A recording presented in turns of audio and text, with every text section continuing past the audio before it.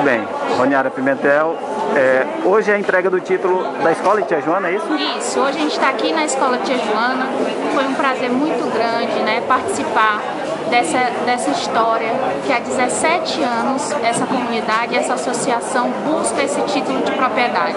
Eles tinham a posse do imóvel, eles estavam irregular, na, na verdade eles não estavam ilegal, eles estavam numa situação irregular.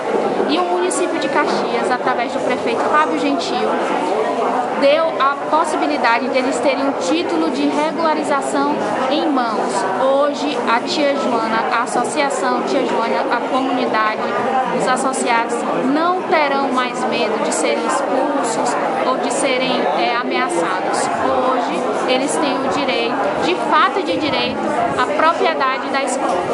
Maravilha, obrigado.